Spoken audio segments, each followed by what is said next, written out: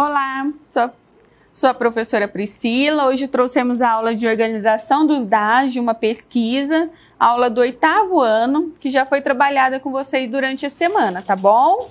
Essa aula tem uma pesquisa de mostragem. Olha lá, aqui é uma amostra de uma população, tá bom?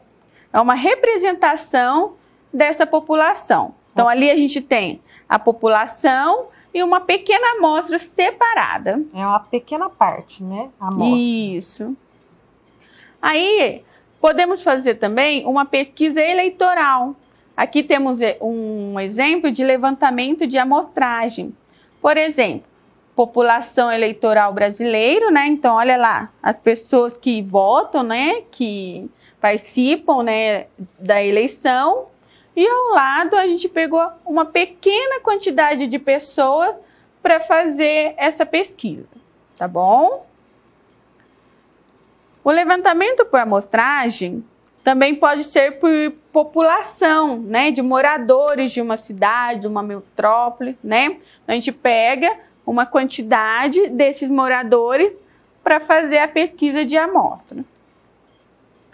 Aqui a gente tem a pesquisa amostral passo a passo. Como que funciona?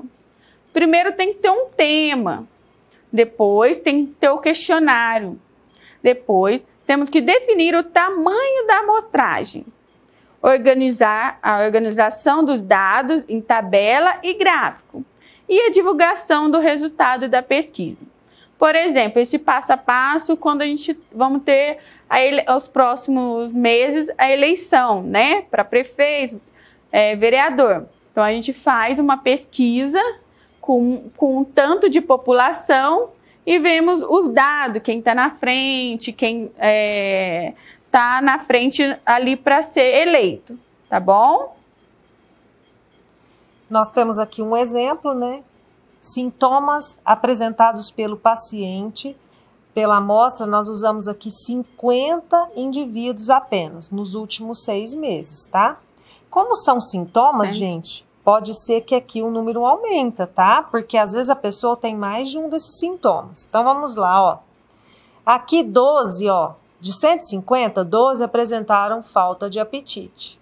Dos 150, 18 apresentaram tontura. Dos 35, dos 150, 35 dor lombar. 60 febre e 83 dores de cabeça. Se nós somarmos tudo, não vai, vai ultrapassar 150. Mas por quê? Porque às vezes a mesma pessoa apresentou todos os sintomas, ou mais de uma apresentou. Então, assim, o, número de indivíduos aqui pode ser que aumente aqui, mas na verdade foi feito com 150 mesmo. Continuando, né? A amostra entre os 3 mil alunos de uma escola foram selecionados apenas 30. Inquiriam-se sobre o programa de televisão preferido. Os resultados obtidos foram os seguintes: programa preferido, telejornal. Dos 30, 10 alunos preferem telejornal. Novela, dos 30, 12 preferem jornal. E dos 38 preferem cinema. Aí, se a gente somar aqui, dá certinho 30. Por quê? Porque aqui cada um teve apenas uma opção, tá? É isso aí, gente. A amostra é exatamente isso. Nós temos aqui um grupo grande de pessoas, mas para fazer uma pesquisa de amostra é retirada apenas uma parte desse grupo, tá? É isso aí. Até a próxima aula. Muito obrigada pela atenção de vocês. E continue tirando foto, né? E mandando para o professor da, da sala, o tutor. E qualquer dúvida pode chamar nós que estamos ali esperando vocês, para tirar a dúvida de vocês. Até a próxima aula.